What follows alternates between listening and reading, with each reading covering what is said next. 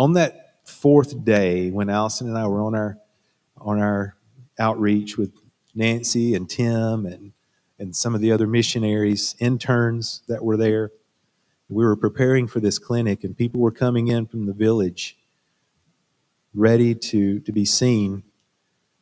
I got away by myself to pray because I knew my heart wasn't in the right place. And I said, Lord, here I am, sharing the good news.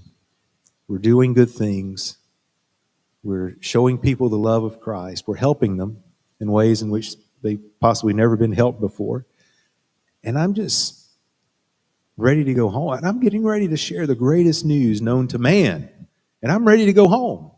Something's not right, Lord. And immediately, this is one of the most wonderful things about memorizing scripture. The Lord will speak to you through his word. And he said, Love your neighbor as you love yourself. And I had memorized that verse years earlier.